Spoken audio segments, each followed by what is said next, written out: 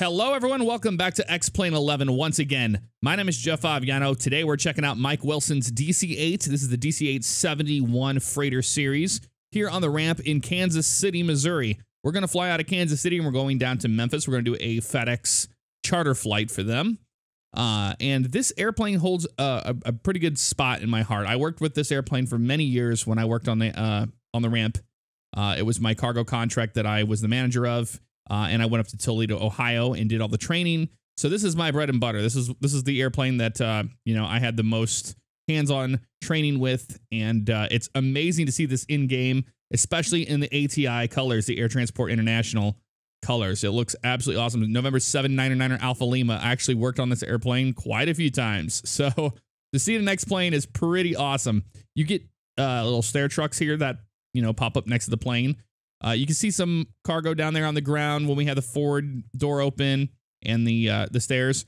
Here in the front, it's kind of strange. Uh, what we used to do is have a air cart or a huffer, uh, and we would have a GPU. Now here it shows a GPU, but it's got an air hose coming out of that GPU. So we'd always hook up the uh, GPU uh, about right there.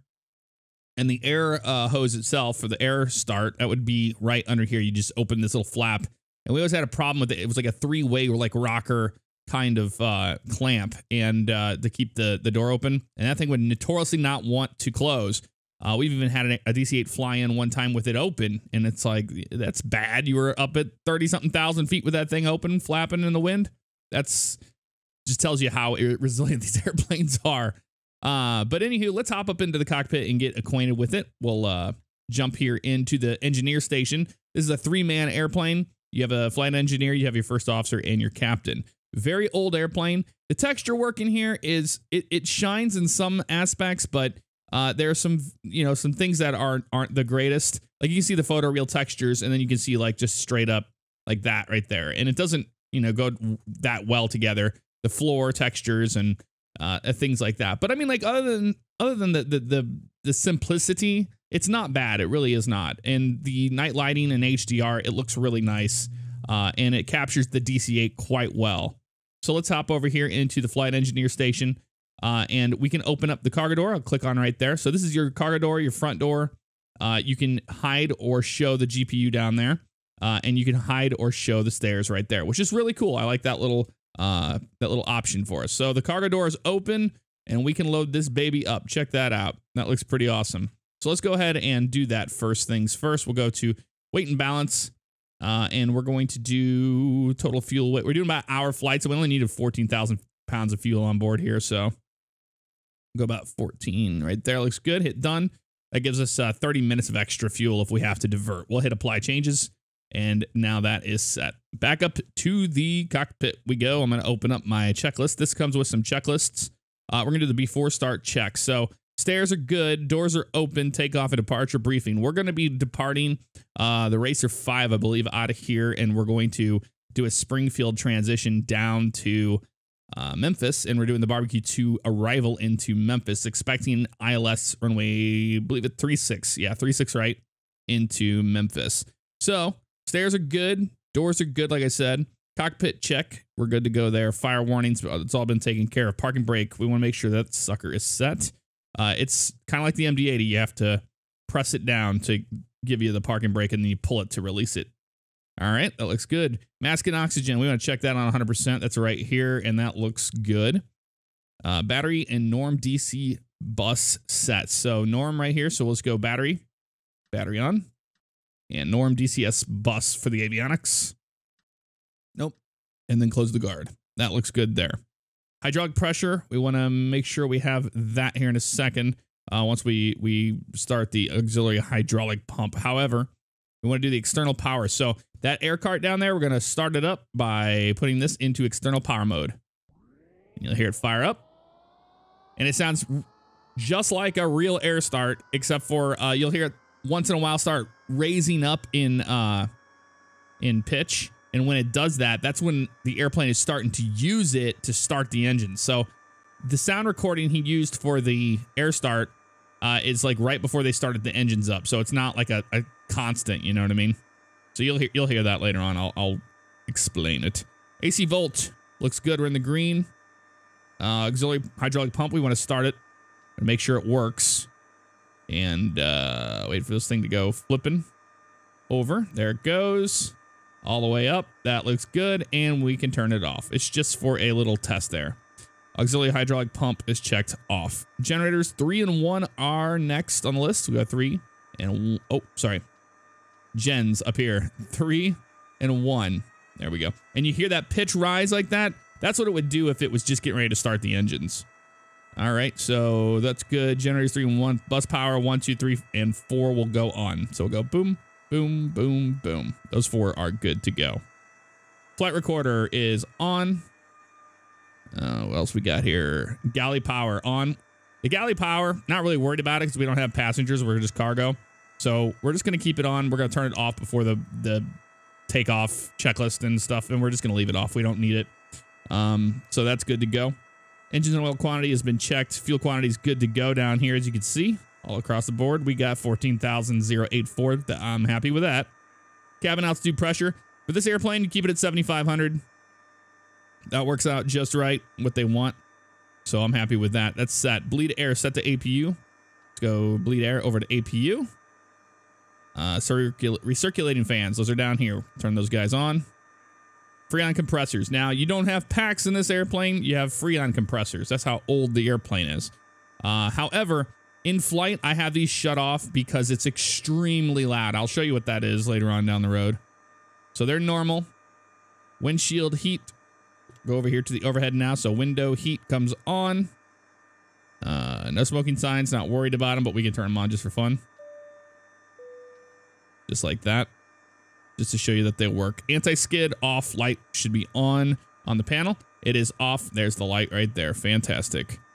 Altimeters, we're going to set them for local, uh, which should be set right now. I haven't changed. I just did a flight uh, in from St. Louis. And uh, now we're going to go down to Memphis from there. So let's look and see what we got here on the iPad. I'll use the, my iPad here to, to look it up. Okay, winds are 220 at 7 knots. So we're taking off on runway 1 left. Uh, 10 statute miles of visibility, few clouds 3,000 scattered, 15,000 feet. 2982 should be on the front. So 2982 is set. That looks nice. So altimeters are good to go. Radio altimeters 1500 set. Radio, radar, and transponder will set on standby. There it is right there. That looks good to me. I want to turn on the uh, nav lights actually at this time. Nav, that looks good to me. All right, fantastic. Final load and takeoff data set. Stab trim, don't need much. This airplane is, uh, you know, you can easily tail strike it. It's so long. Um, one thing that's weird is I can't move the trim up and down with the normal trim tab because we have no power to it right now. You got to manually move it. And we're just going to go about right there. That's going to be more than enough because the airplane will naturally just kind of float right off the runway. That's the way that it's designed. So stab trim is set and checked. We're ready to start the engines and get out of here. So it's a little bit different in this airplane. We have to start the engines up and then program our FMC. That's what we have to do. So outside, you see there, the air hose is actually modeled and plugged into the plane in the wrong spot. That's showing you the GPU cable. But uh, regardless, it's it's still animated, which is pretty neat. So let's go ahead and close these doors and get out of here. Close the doors. Hide the stairs. Don't need those anymore. I'm going to go over here and I'm going to do beacon on just to let the ground crew know we're ready to get out of here and start this airplane up. You see right there, Got the beacon going and uh, the entire area around the airplane is clear and we're ready to start the engines. So an engine start in this is actually pretty simple, not much to it.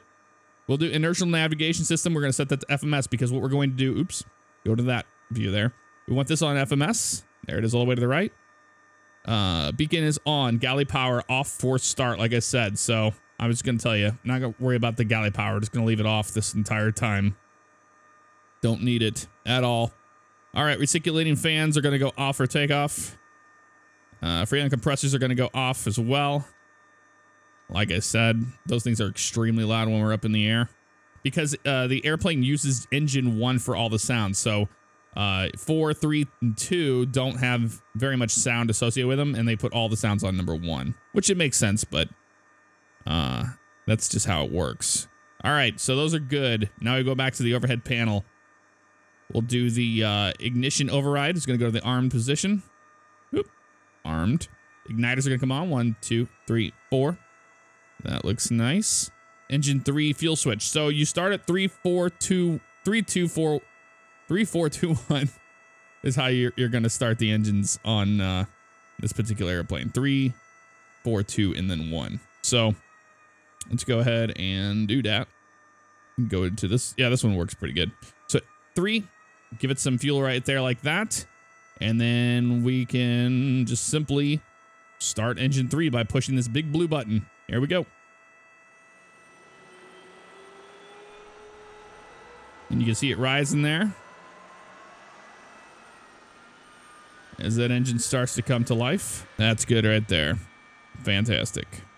And you can see we got pressure. We've got everything right here. We got our EGT and it's uh, stabilizing right there. We've got fuel flow on that engine as well. So we're going to go three and then we're going to do four, two, then one. So let's do four. Engine four. Now, one thing I haven't tried doing yet is doing a cross start.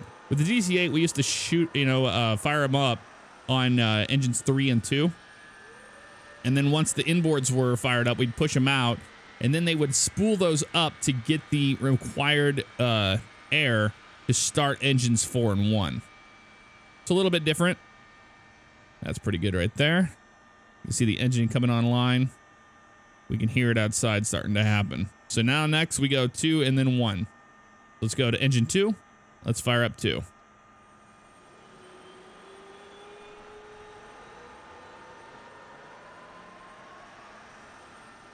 And you only have to hold it for about four to five seconds here.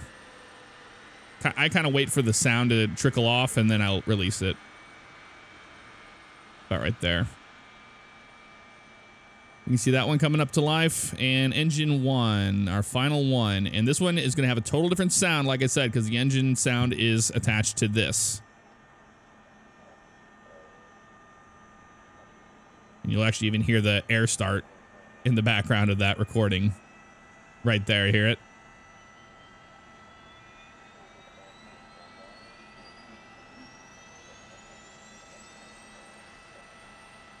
There we go. That looks nice. And now you can see we have a PFD, HSI, and all that is all to life. We have the FMS working, and uh, the airplane is happy because of that reason. So, next up will be the after start checklist. It's a pretty short one, so we're just to do that one before we do a taxi and takeoff. So, doors and windows are closed. We're going to double check that outside. Yep, that looks good to me. I'm happy with it. All right. Hydraulic oil and temperature. We've already checked all that. Hydraulics are good. Electrical panel has been checked. Galley power. We're going to keep it off. Don't need it. Seatbelt signs. Don't care. Pitot heat. That's going to come on now. Right there. So pitot heat's good. We have our little pitot tubes outside warming up. Engine anti-ice. Not worried about it. Ground equipment is clear left and right. And then they want the parking brake off. So all we got to do now is we can shut down the uh, we can shut down this guy here. So let's go ahead and do that. We don't need the external power anymore. That's going to shut down. Now we can turn engines two and four gens on. That looks good, which is strange. I thought it was on this checklist, but I guess it's, I guess it's not.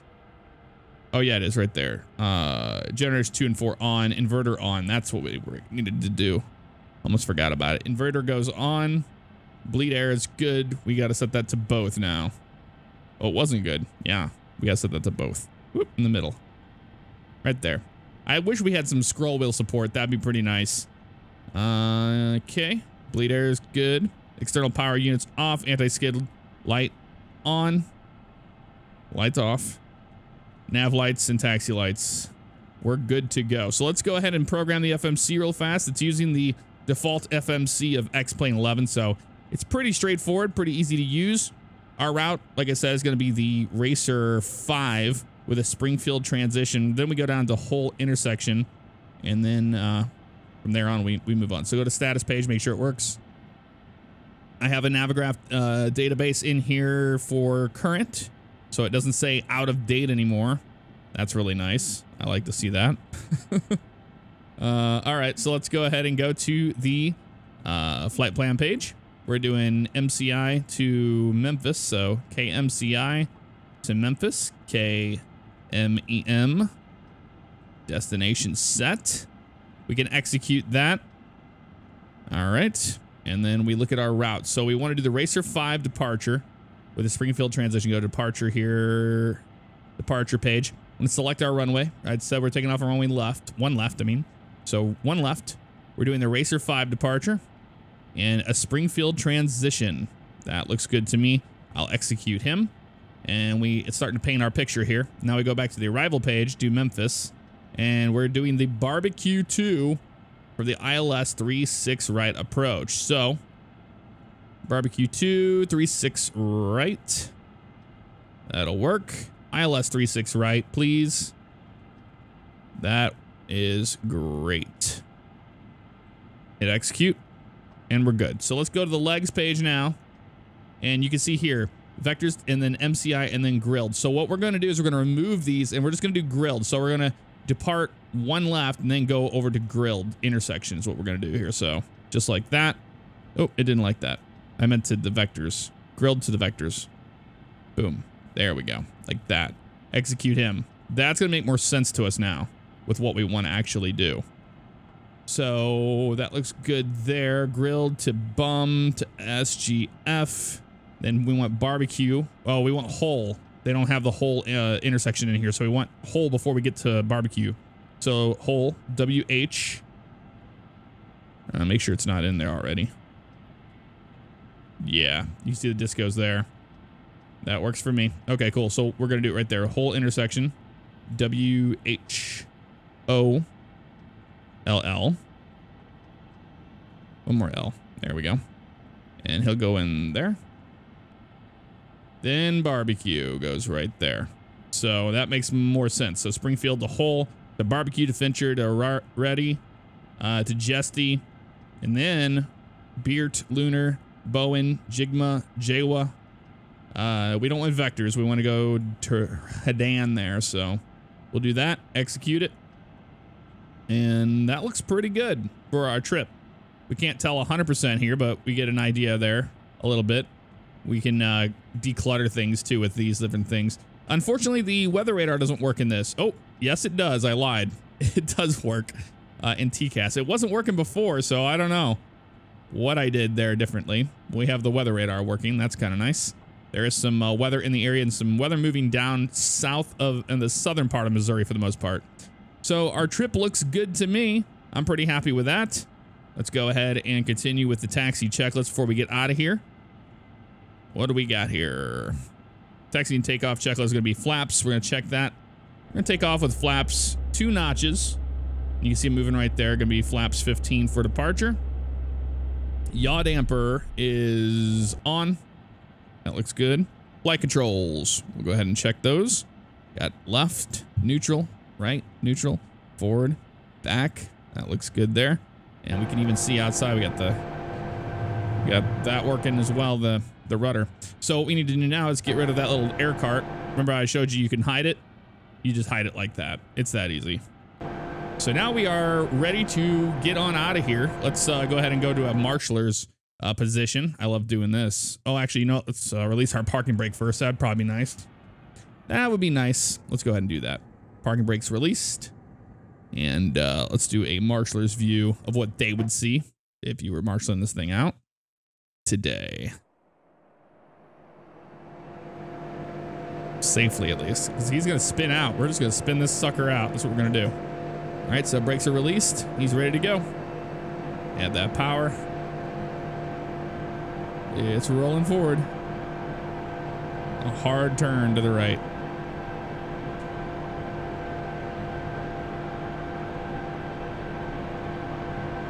There you go, buddy. Just like that.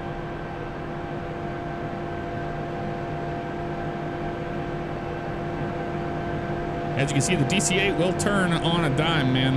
It's a very, very, very, very easy to turn airplane.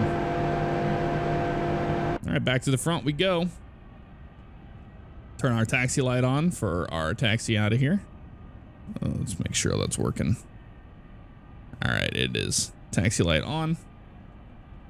And we'll taxi down runway, what is it, one left? Yep, one left. Here's a taxi light. Show you what it looks like. And so with this airplane, if you're wondering how to keep the nose wheel center line, you want to just line it up with a PFD. That's all you want to do. So this guy right here in the middle, if you have this in the middle, you're right there is where you want it. And it'll work out just right for you. As far as lighting goes, we can always turn up the cockpit lights. You got captain's panel lights there. And you got main lights as well. So you've got some uh, lighting options, but you have to wait for the sun to go down a lot more than it is now. It's uh, early evening, so we're not really worried about that too much. So not too long to get the airplane up and running and get your route planned. So what you want to do, and I didn't understand this in the very beginning when I first uh, when I first got it. You see right there, it says uh, our course of 190. Let's go ahead and set that course to 190 because that's what we're going to want. Uh, 8. 190 set. Um, I couldn't figure out how to get the airplane to follow the FMS. So once you're in FMS mode here on the source, this is for the flight director, so we can click on flight director there. Uh, and it'll show what we want there. So let's go ahead and do our MCP while we're on our taxi out here. Uh, vertical speed, gonna do plus. We'll we'll climb out of here at about they say 1500 feet per minute, so we'll do that. Uh, 1500 feet per minute, and then we'll increase it as we see fit. Altitude, let's do initial altitude of mm, one five thousand. That'll work for me. One five thousand. So that looks pretty good. You can do the auto throttles. We're not going to worry about the auto throttles in the very beginning because the auto throttles for me, they'll sit there and swim. They'll go forward and back and forth and back. And it's kind of annoying, the sound of it. So I don't worry about that too much. But like I said, we're in flight director mode. If we click this over to the right, we'll be in the autopilot mode. And it's going to follow the FMS when we turn on the LOC button up here. When we turn that on, like you're going to follow the localizer, it's going to read it as a localizer and it will fly the FMS just like that. See the uh, terminals there on the left. Kansas City International Airport. And not too much longer, we'll be out of here. It doesn't take uh, long to get down to runway one left.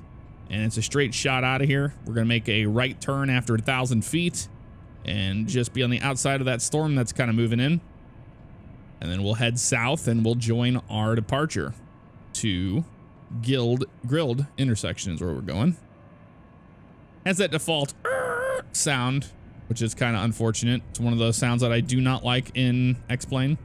Yeah, let's get this back on the center line. So you just line up that PFD just like that, and you're golden. That's a golden spot right there, and I'll show you from the outside view what that looks like. See, we're, we're right on that yellow line. Hello. Not bad at all. Awesome looking airplane though, man. It is such a unique looking airplane. I love it. The taxi's very nice. It flies just as good. Like it has a really nice flight model on it. I really enjoy it. It's a slippery beast, so you got to stay ahead of the airplane, that's for sure. We're going to be doing a, a, cruise altitude today of uh, 33,000 feet. So that's the plan of action. I don't think I told you that, but I told you now. Landing lights can come on now. Strobes can come on. And we are clear for takeoff. Runway one left. Make a turn to the right here. We'll just follow our yellow line. There we go. Just like that. And I could set my uh, auto throttles up here to 250 knots if I really wanted to. But like I said, I'm not really worried because we're going to be handling it by ourselves. But if, you know, it gets to be a little bit too much work, we'll turn them on. I, I'm not anticipating that at all, though.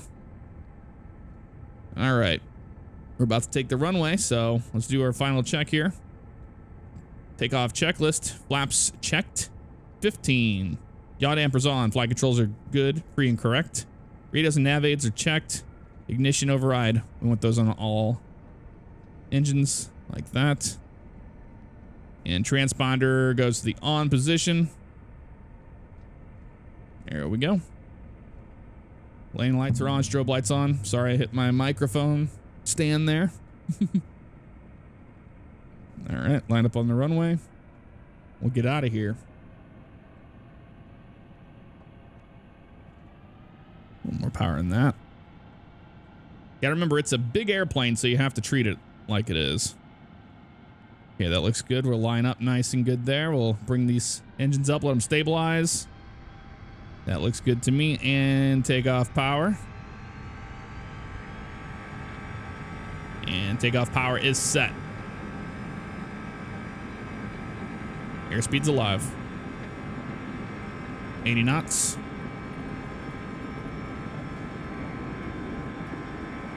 V1, rotate.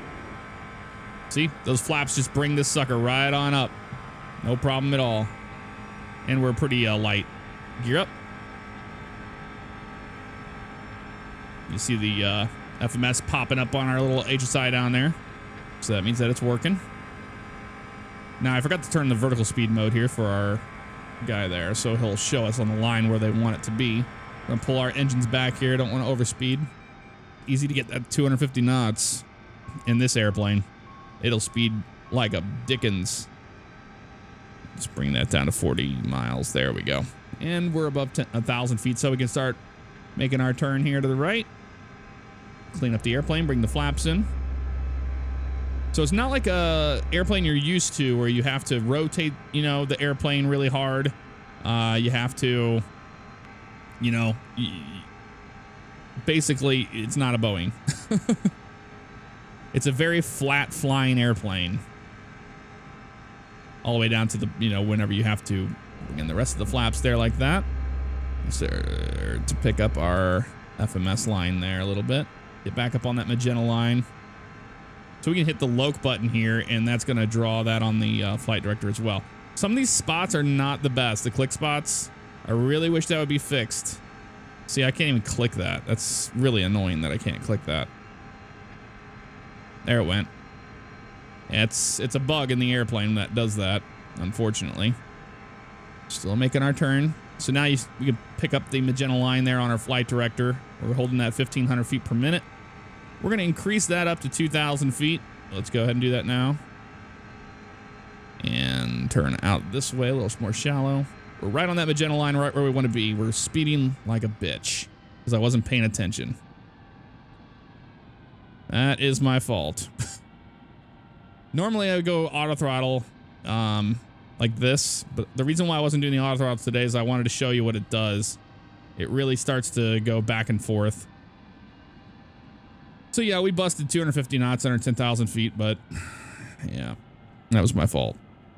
Come on, back on up it goes. There we go. Get back on the flight director.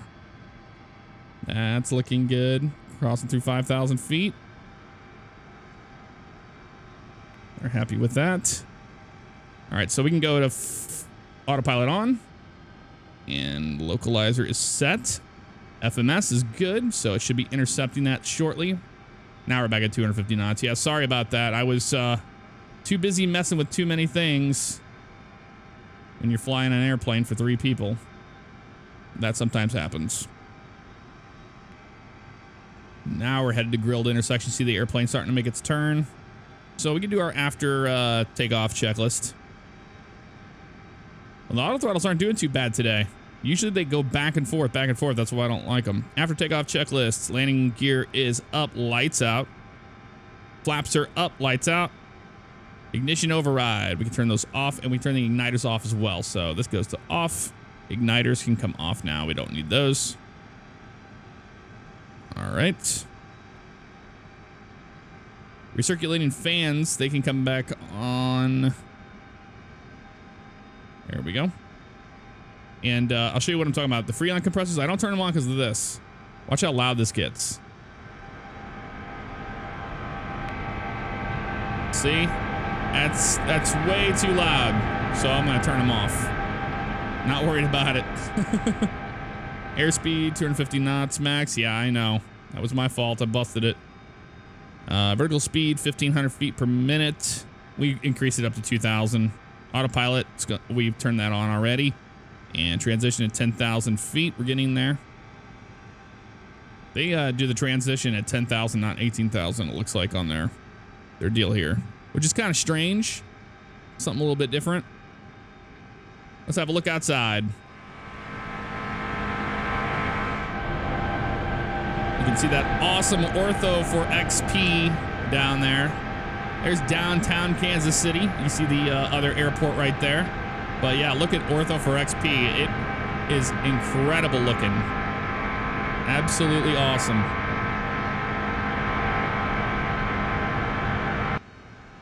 Uh, we're over 10,000 feet now. Let's go ahead and do landing lights off. Taxi lights should have been off. Make sure that looks good. Strobes are good. Everybody's happy there. Fantastic. Now we can go to 2992. I don't know why they have it set at 10,000 feet to be, you know, your transition altitude, but whatever. I believe it's 18,000. It should be across the board, but I'm just going by what it says on the, the checklist. It's not a big deal. And we are almost to grilled intersection. Then we get to start our turn to Bravo Uniform Mike VOR. There, 12,000. You can see right there, that's the other course changed to 172, so I can move this over to 172 and you would know exactly where you're at. This is why I want the scroll wheel support. You sometimes can't get those numbers. It's kind of frustrating that you can't, but... Ah, well. What are you going to do? 12,600 feet. You can look out of these windows. It looks absolutely awesome. Look at that. And I'm not using xEnviro until, you know, we get a big update for that. I'm just not using it. The default, this is all default weather and color of X-Plane 11. Everything default. So they've really upped their game with clouds in X-Plane 11. Not to mention you get weather radar returns because with xEnviro, you just don't get weather radar returns and they haven't updated that or fixed it. And it's really, it's really shitty, honestly. I mean, it's been out for a long time and they haven't even remotely began to give us an update on that. They had that problem with the winds uh, and, you know, not having precipitation at all as a return on a weather radar. That's kind of dumb. So, little things like that is the reason why I'm not using it. Have it shut off. 14,800. Coming one 5,000. We're going to bring it on up. Moving on up. Let's go up to 18. Vertical speed, please. See, sometimes you can't click that. It's really annoying. And we'll just go and go up to 33,000 feet. You can actually, yeah, you can, it can easily do 2000, you know, on the vertical speed. I should have brought my speed as well. Man, I'm just batting a thousand today. I tell you what, let's go ahead and go to that. And we'll bring up our auto throttles. We'll climb out at 0.78 Mach. Let's see if the throttles do what it normally does, the back and forth thing I'm talking about. This airplane's got some power behind it. No lie. So it'll get up there to Mach 0.78, no problem. Then it's going to start doing its uh, back and forth stuff, I'm pretty sure. Here it goes back. See, and then goes forward. Does that. And it goes back. And then it'll go forward again. See? And it just drives me nuts. I don't want it to do that, so I just turn it off. And then I manually handle it. So let's put it about right here. And we'll just keep an eye on the speed ourselves.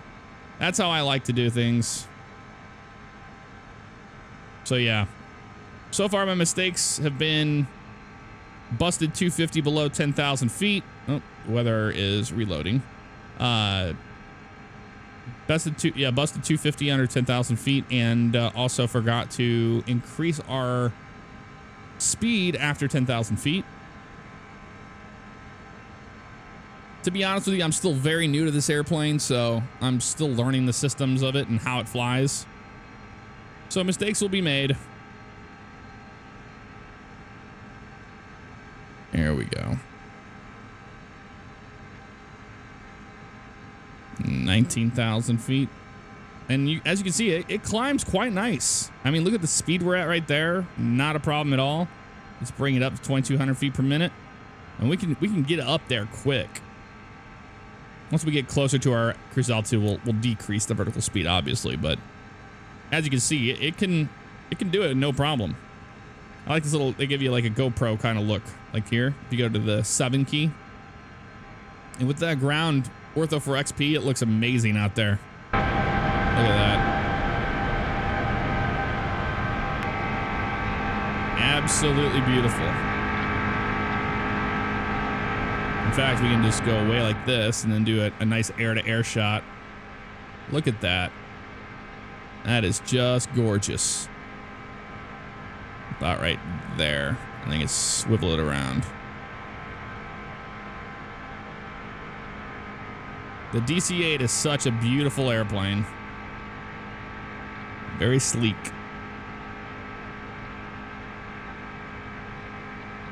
Getting some hiccups there. It tries to draw in all this while we while we pan around the airplane. That looks nice. We got out of the cloud cover pretty quick. Flight level 220 right now. Still climbing towards Bravo Uniform Mike. Watching my airspeed here. Get a little bit more power in that. We just don't want to go past the barber pole, that's all. No problems with that at all. Yeah, see this default one is showing you here. This is the default uh, FMC. So when we put these arrivals in here, you're not getting the actual every single altitude restriction. Uh, some of them are like that, so you have to manually put them in, which is not a big deal, but regardless, I can uh, open up my my uh, barbecue 2 arrival. I've got the Navigraph charts on the iPad. So let me go ahead and do that. If I can enter that in correctly, good lord. There we go. And go to the charts. And looking at it, whole intersection right there. Hoog is flight level 260. All right, so that'll work. Barbecue, and then they got Fincher and all that. 16,000. And they have that in there. So that's uh, actually interesting. Some of them don't, some of them do. But this one seems to have most of them in there, at least, as you can see right there. Not bad. There's our turn over the bum VOR.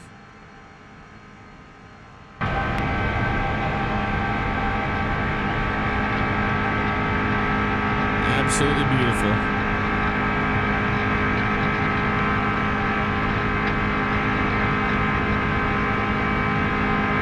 So much quieter inside the cockpit. As we fly through uh, 26,500 on our way up to our cruise altitude. Won't take us too long. There's 27,000 feet. Well, I hope you guys had a good weekend. I had an interesting weekend. It was a lot of fun. Had some friends over, sang some karaoke. Pretty much the normal thing you do on the weekend. I did uh, get the new version of uh, Fly Inside FSX, which Fly Inside I was what you should call it. Uh, it's VR software for um, FSX Prepar3D, and they also have it for uh, X-Plane. Even though X-Plane, you know, has its VR coming out in the fall, uh, regardless, you can still do VR with that program. Uh, the reason why I hadn't been using it is because I was getting this black screen issue. You know, after 10, 15 minutes of flight time, the whole thing would just black screen. You couldn't see anything. It was a real problem. And it was only displaying clouds in one eye. So they had a new version come out and they fixed that completely, they said. So I'm really excited uh, when Bugs is here. Uh, he'll get to try out VR and he'll get to see what it's like in X-Plane. But I'm excited to fly this DC-8 in VR. It's it's a simple enough airplane that you can do it. Once you have, uh, you know, most of your most of your flows down and everything on an airplane, you can easily do it in VR. 133. Let's go 133 for you. See, I can't hit that 133. Going 134. Those are the small little bugs that are annoying about, you know, uh, certain aircraft models. And I'm not dogging on Mike Wilson because I think he did a great job on the DC-8, and it it it needs improvements, and it could be a really great product. It really could. It's not even that expensive. I believe I paid $25 for this thing. I think that's what it was. I am not 100% sure, but I'm pretty sure it was like right around 25 bucks. And you get all the DC8s. And you get the 60 series and the 70 series and the different variants of those. You see the barber pole's coming down a little bit there, but I didn't have to change my uh, my speed very much at all. Not bad. Whole intersection. Then Hoog. We don't have Hoog. I should. It should be Hoog after barbecue, uh, after Hull, but that's all right. We'll just do the barbecue one. And uh, we should be at 280 knots in flight level 230 at barbecue. So we'll have to keep an eye out on that. And we'll also watch how much time we are. There's our cruise altitude there. Wonderful. Keep an eye on the speed. Make sure we don't overspeed. And Pull back just a little bit. That looks pretty nice right there, flight level 330. And we don't have to do anything till we get over Springfield and towards Hull, but then barbecue. 280 knots and 230 for that flight level. And so you've got to really be ahead of the airplane. So we're going to use our uh, our maths, you know, between Springfield and Hull. So Hull to barbecue is at 45 miles. So we got to keep an eye on that 45 and add to it. But what you want to do is go um, the the total distance. So like between Hull and barbecue, you know, 23,000 feet and whatever flight level we're at at Hull, the the amount of altitude you're dropping to get to 23,000, you take that times three. That'll tell you how many miles you need to be out whenever you start your descent. So we're going to use that formula today. You got to, you know, you have the help of the autopilot. You know, it's nice to have FMS in this. Uh, the the DC-871s that you know we were working with back in the day, they had FM FMSs in them, so uh, it's it's pretty realistic. Uh, but you have those tools to help you. You still have to manually fly the airplane for the most part with a lot of different things. It's not like the VNAV, you know, and I, I haven't gotten VNAV to work in this airplane. I don't even think it works in it, honestly. I really don't think it does. We're here at cruise altitude. One thing I hope that they fix soon enough in the next plane is the terrible contrails right there. They're too dark colored, you know? Way too dark. But look at that Ortho4XP, man. It looks like we're flying over Missouri. Look at that. That is incredible looking. All right, we're just above Springfield, Missouri. Let's see if we can see it down there as we make our turn over the VR. Uh, Springfield, Missouri down below us. The VR isn't on the field, but it's close to it. I'm just going to see if we can see it or not. There's the field right there. Yeah, the Springfield VR is close by, but there's the airport right there. Very cool. All right, so we want to get to the barbecue intersection at flight level 230 at or below, uh, 280 knots. So what we want to do is do our conversion like I was talking about earlier, and that is you know, we're at 33,000 feet. and we want to make 23,000 feet. So that's only 10,000 feet, right? We have to make uh, down to barbecue. So you take that times uh, three, which would be 10 times three, and that would give us 30. So 30 nautical miles out from barbecue, we'll start our descent down to flight level 230. And we're going to keep a good, you know, decent descent of about 1,800 feet per minute is the is is like a good uh, a good estimate. Uh, so that's the plan of action there. And uh, we can continue on. We've got about 90 something miles till we get to whole intersection. So this is the long stretch of the cruise. That's the, the most quiet.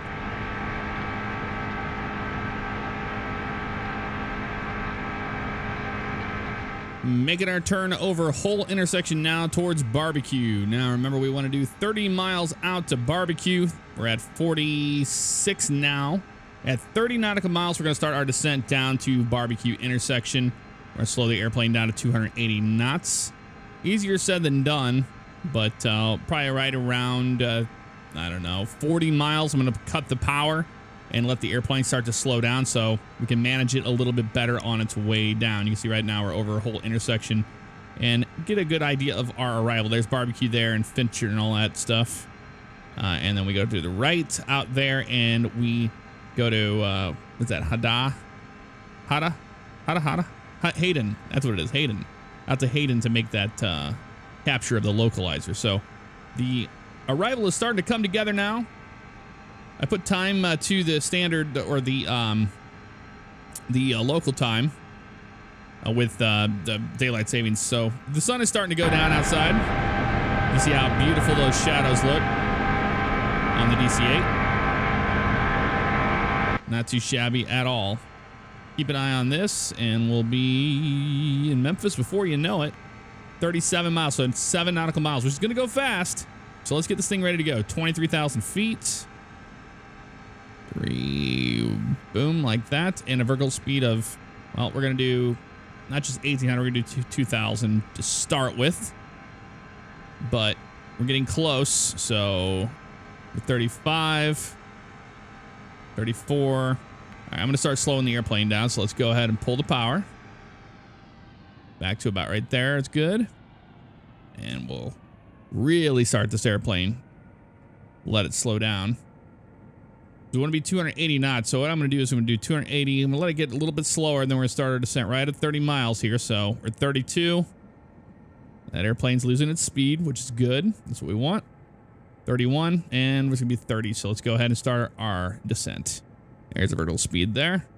I mean, 2,000 is going to be a little bit. And what we do is we're going to adjust the vertical speed to maintain the speed that we want to carry uh, in our descent, essentially. That's coming together quite nice. Quite nice indeed. Let's uh, let's check out checklists. Make sure we're not forgetting anything on the descent check. Descent approach briefing. So we're doing ILS from runway 36 right approach, and we can do over here on this uh, second FMS. We can click arrival data, and on that page, it's going to show us here the ILS that we're doing. from Runway 36 right approach. Shows you the runway elevation at 335 feet. The local uh, bearing, so that's going to be a course of 001 when we get there. Uh, frequency of 111.35. So 111.35. Let's put that in up here under nav 1. 111.35. So we go 35. Actually, let's do the big one first. 111 and then 35. Oop. There we go. 111.35. Hit the button. Now that's in the correct one. And if we wanted to, we could turn on the, uh, the little audio sequence so it would let us know uh, what ILS we're actually picking up. So that would be quite nice. Now you see, since we stayed ahead of the airplane, it's doing about 264 knots on its descent, which is fine for me because this airplane is so difficult to slow down. I'd rather be slower than be faster when it comes to this descent of 280 knots. So those are just altitude uh, speed restrictions, essentially. They don't want you going over it. If you're underneath a little bit, it's going to be all right. Mm, we're at 260. I can add a little bit of power here. There we go. Don't mind Siri being stupid in the background. I didn't even tell it anything. I think it was like something I said that it was like, oh, did you want to speak to me? No, I did not, Siri. Thank you very much, though. ILS frequency is checked. Runway course. Uh, we'll set that here.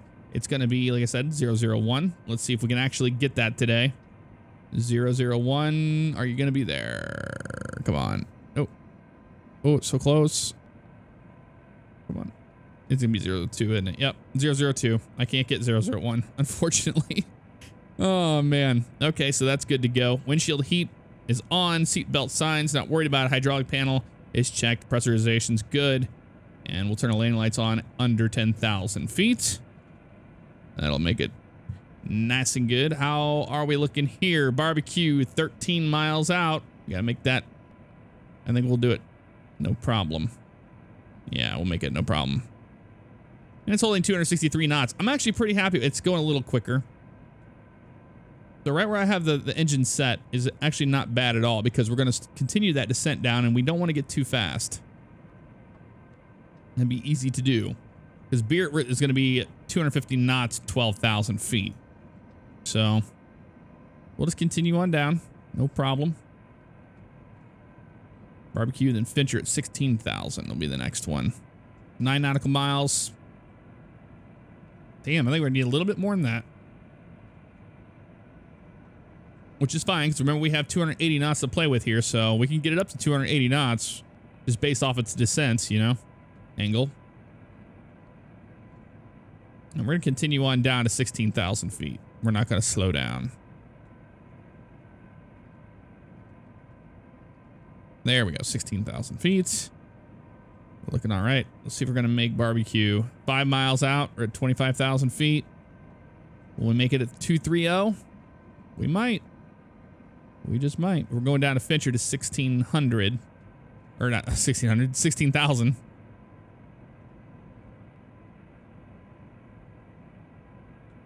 And on this one, when we come through 18,000, I'm changing it to local altimeter setting. I think I think that might be like a, a British setting or something like that. There we go. So we were off by a little bit on that one. Should have been a little hef heavier descent. I was close, but no cigar. We're off by about a thousand, about 1,300 feet or so there. So venture at 16,000. Let's continue this sucker down. Let's do 2,400 feet per minute. Remember, we can get away with 280 knots, so if we can, we can. Make sure those engines that are idle. We get the lights coming on now. Are those lights are those? That's the sun. I think it might be the sun. Yep, sun doing this glaring deal. Yeah, and it is. That's okay though. 22,000 feet. So this arrival is going to be pretty quick pretty quick. We got the ILS course dialed in. We got ILS set. Once we get the ILS popping up here, it'll actually come down here. You'll see the little dots, you know, for the glide slope. It'll be a red little dot for the glide slope, and it'll be white back and forth for like your normal, you know, this thing, you know, the needle back and forth for the localizer. Let's pop outside one last time. You see that descent? There's the sun going down behind us. That looks very nice indeed. And you can start to see parts of Arkansas. And Tennessee's on the other side over there. As we continue our descent, we're right at about 280 knots. That's pretty much where we want to be. I'm going to keep an eye on it. To make 16,000 at Fincher. And how many miles out are we? Two? Okay. It's to be tough to make these uh, altitude restrictions. I should have started my descent a lot earlier. Maybe by 10 miles. Maybe I was off with it. That I wasn't, uh, I was going pretty quick too in that initial part there. So oh, there's 281. So let's combat that with this. Bring that nose up a little bit. We'll just maintain that the best we can here. Okay, we already crossed Fincher just now, and we were way off. Man, I, I, I can't get this thing to slow down. I can't get it to, to descend. It's a real problem in this airplane sometimes. All right. So we're going to have to be ahead of the game a lot more than uh, than I thought. It's starting to pick up speed again, so we need even be less than that. Try 2100 feet per minute. I'll bring it nose up. Because the airplane is just so sleek. And you can't use speed brakes in the DC-8. Speed brakes will kill you. You cannot activate speed brakes at all in flight. You only use them on the ground when you land. That's the only time that it's okay to do that. All right, Jesse's uh, beard's going to be 12,250, so 12,250. 12,000, and we'll do 250 knots on this guy. I should probably go out of throttle on that and it'll do its thing. It'll maintain 250. That way we're, we're doing all the arrival stuff. We won't uh, make a mistake like we did on our departure of, you know, messing with stuff and letting the auto throttles get away from us or the, the throttles for that matter. All right, 60. So we're below 18,000 feet. Let's go and go to the local altimeter setting there. We're starting our turn now towards Jesty. Jesty, Jesty. And uh, what was I doing? Oh, yeah. Altimeter in Memphis. Winds are 290 at 4 knots, 10 statute miles visibility. Few clouds at 1,100 broken, 11,000 uh, broken at 18,000. Altimeter 2984. Let's do 2984. That low pressure system. This is another thing I'm not a big fan of right here is you can't really see what the baro's doing. There we go. Oh, 2984, got it. I think it does it for both sides. Yeah, it does. Okay, cool. And see, this thing is a 280 knots, and it, I mean, it couldn't hit 250 if it wanted to, honestly. We're going to go slower than that. Let's do like 1900 feet per minute. Well, we're we're not going to bust our 250 knots once we get there. So 280 is good. So if we have to hold at Beert for a little bit to get down in speed, we will at 12,000 feet. I think we're actually going to make Beert at 12,000 feet. Yeah, we will. No problem. So that's good news at least. So we're 280 knots, and then once we get to Beert, we're going to hold off there at the 12,000 feet we have selected and uh, let it slow down 250 knots. So we can get a hold of this airplane and be like, hey, I tell you what to do. It's just it's just really, really slippery, so you have to stay way ahead of it. Nice view outside. Get ready to descend into the clouds. The sunset behind us. Looks awesome. All right, coming up on 12,000. We're going to let this thing slow down to 250 knots. We pretty much hit. We were just off by a couple hundred feet there, but not not too shabby, honestly. Not too bad at all. So our next one is going to be, let's just go ahead and descend down to Jawa's altitude of 4,000 feet. So we'll do 4,000. Letting this thing slow down to 250 knots before we start our descent do about 1800. I'm gonna turn off the auto throttles again here. I want those suckers to be dead. I want to slow this puppy down. There we go. That looks good. Vertical speed is set.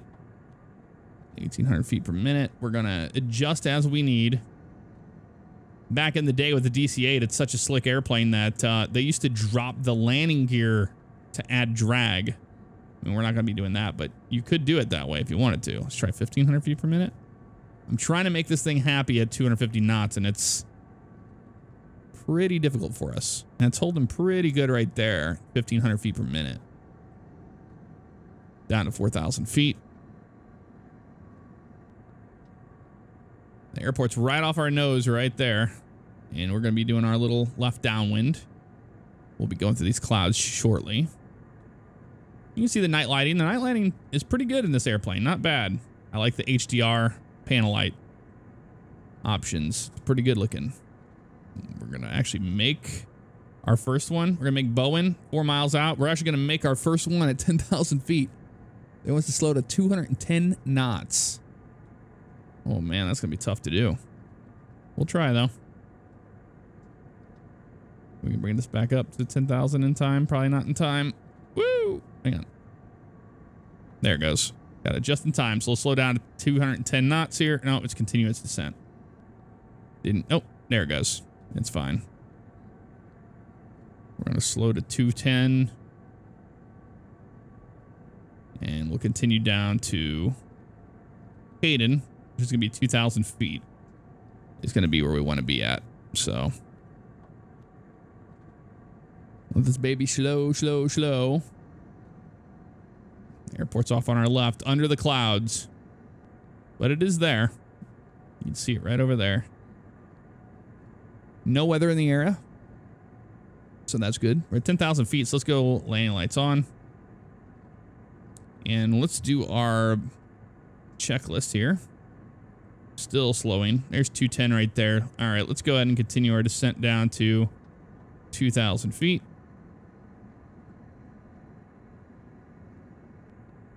There we go, 2,000 and negative.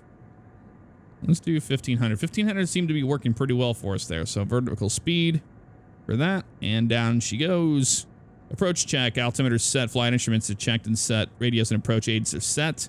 ILS 36 right approach. Radio altimeter set. Autopilot set. Galley power, not worried about it, off. Ignition override goes to all engines. Let's do that.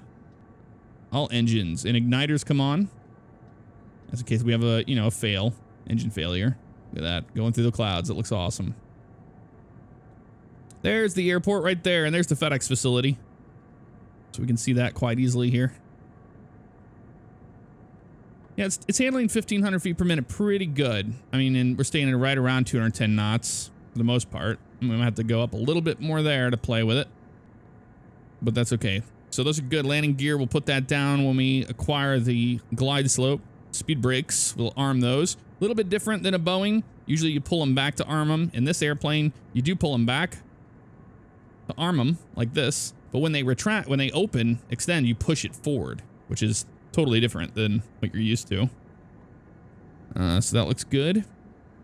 We're maintaining a pretty decent speed here, the best we can. As long as we don't exceed 250 knots, I'm, I'm happy with it. 8,000 feet now. We just got to get down to 2,000 there, and, and we'll easily do that. No problem. Flaps, we'll do that when we're on final approach because this airplane, you have to be quite slow to use the flaps.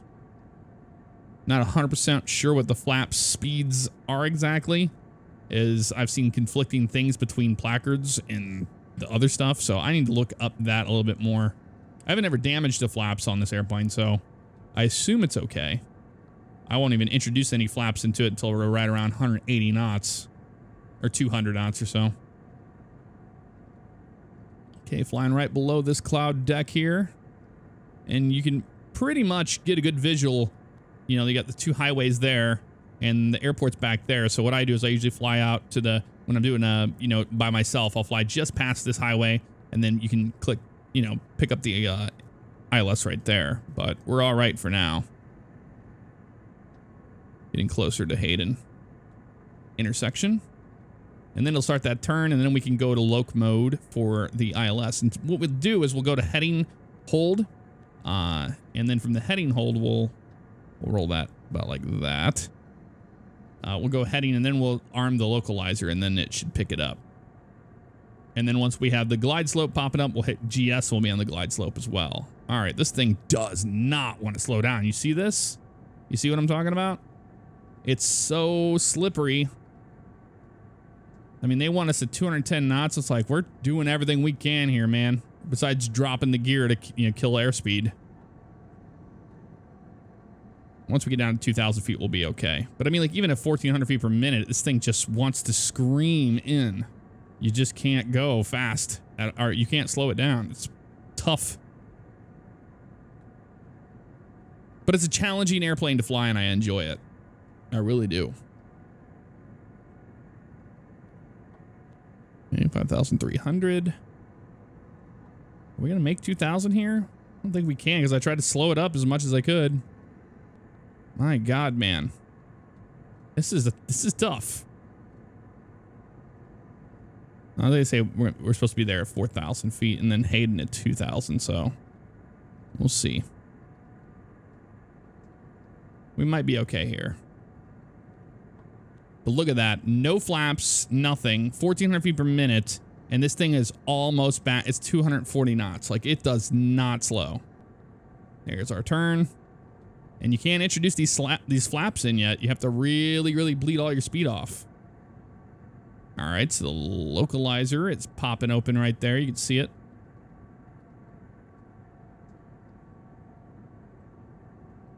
We get a nice intercept heading here in a second. I can see why DC-8 pilots used to drop the gear to try to get this thing to slow. Because, I mean, what else are you going to do, you know? Look at that.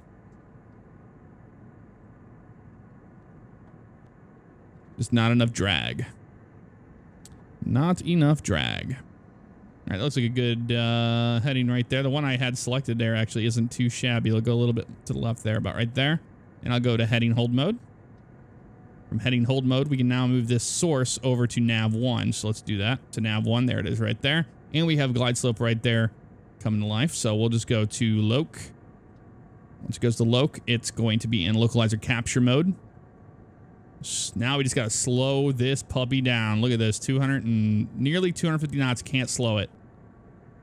Can't put the can't put flaps down. Can't do anything. Trying to make 2,000 feet here. I mean, the only thing we can do is put the gear down. So let's go gear down. Go taxi light.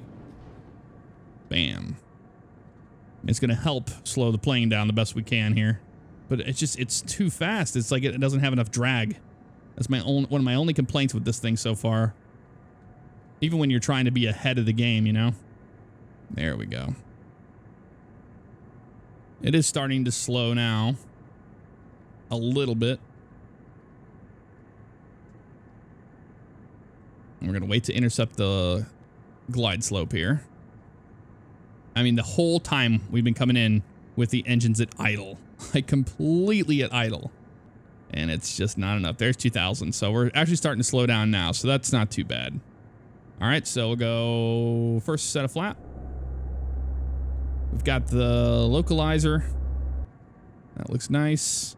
Got our runway in sight right there. So you can see putting the gear down, it put a lot of drag out there. It really helps slow the airplane down. Okay, that looks good there. Still waiting to grab this glide slope. There's 140 knots. Gonna add that power.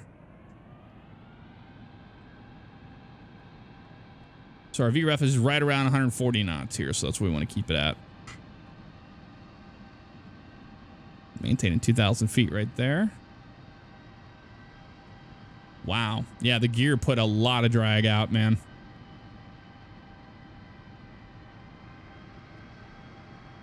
Fun airplane to fly.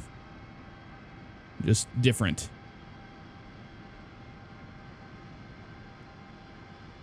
Okay, glide slope, you ever going to come down?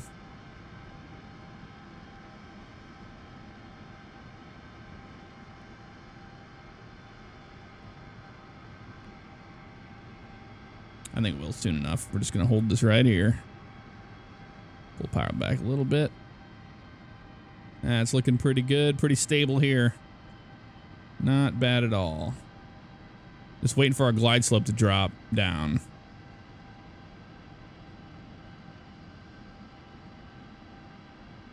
I don't think it is yet.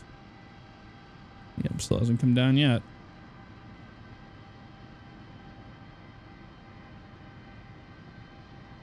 There's the glide slope. So now that we have the glide slope movement there, we can go to GS mode.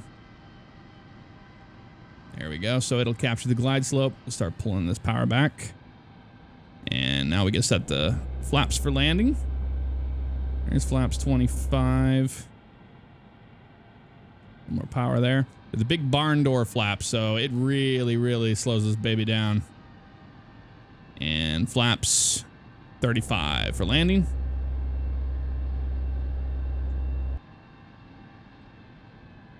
Right on the glide slope, right on the localizer, looking good.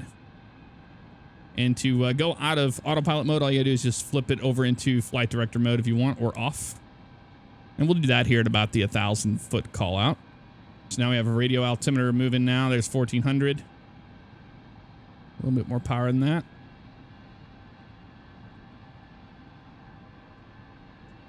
A little more power than that.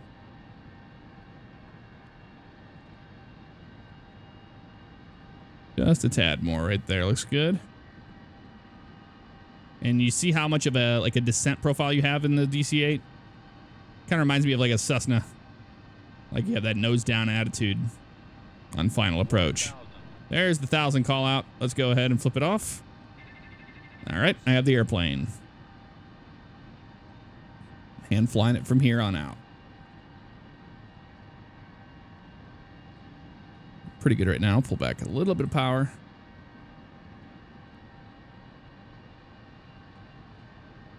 But it's a very, very stable airplane once it's once you have it together, you know. More power back. It's so easy to overspeed this airplane, so you got to be on top of it.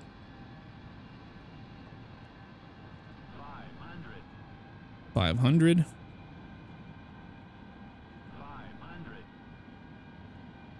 Yeah, we know 500. Gotcha. Gotcha, pal. It's a tad low. Bringing that nose up a little bit here. There we are. Back on it. Let it come on down.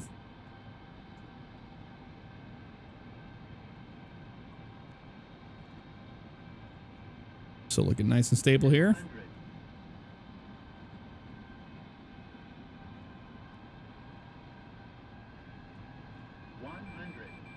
There's the inner marker. And the round out.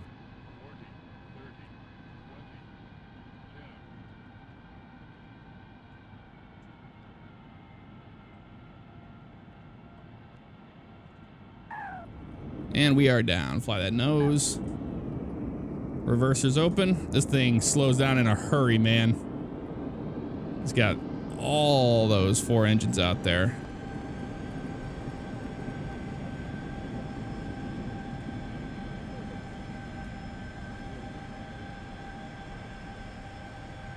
And there's our 60. Clear it. Very nice. Welcome to Memphis. You probably take this high-speed taxiway right here, actually. That worked out for everybody. And then we'll watch a replay of our landing. I was pretty happy with the landing. It's uh, like I said, it's a it's such a long airplane. You have to really watch how much flare you give it, and uh, you have to time it just right with the amount of power you know you're, you're cutting out to try to get a smooth landing in it. They don't need very much flare, otherwise you'll be tail striking it. All right, let's watch this replay. Here we are, just about over the numbers right there, and we start the flare. And you can see right here, you don't want very much flare, just a little bit, and then it gets in that ground effect, and then let it come on down. Just kiss them like that, and then fly that nose wheel. Reversers open. Speed brakes are out. And she slows down pretty quick. That looks beautiful with the FedEx facility back there in the background. That's amazing.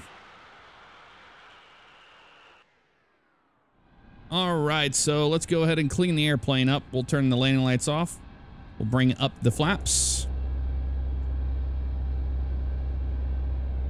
We will bring these speed brakes back in like that. And let's do the after landing checklist. That's the fun part. Anti-skid, that can come off now. So let's go ahead and go over here and turn the anti-skid off. Like that. Slow this baby down. Radar and transponder can go over to standby mode. So let's do that now.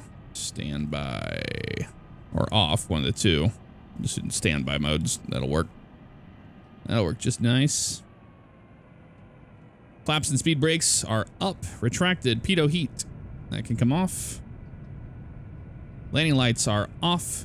Taxi light on. Stab trim is neutral. Parking brake, not worried about it. And then we go to the shutdown checklist. One thing I do know that's not on this particular, this is the short checklist, is uh, you go this to off, and we turn the igniters off as well. I think that's part of the shutdown checklist, honestly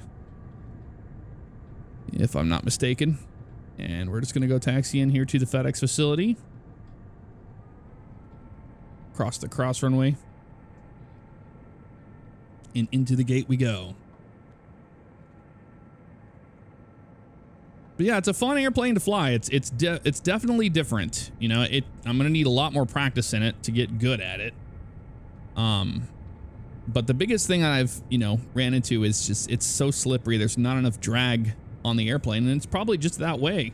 I mean, you can look at the design of it and just go, yeah, that thing doesn't seem like it wants to slow down. It's a fast airplane, especially the 71 with those big CFMs out there. All right, where are we to taxi? Where are we to park at over here today? Park over here, actually, to the right. Let's do that. We'll park just in front of this guy over here. That'll work for me. They have little marshalers out there. That's what we're going to look for.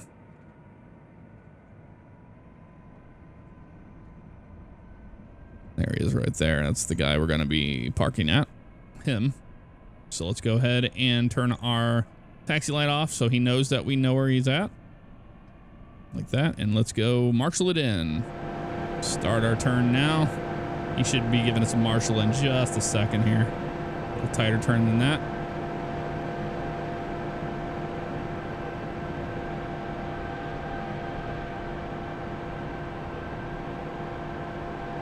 Registered us yet. Yep, he doesn't seem to care, does he? Oh, there he goes. Now he's telling us to, to go forward.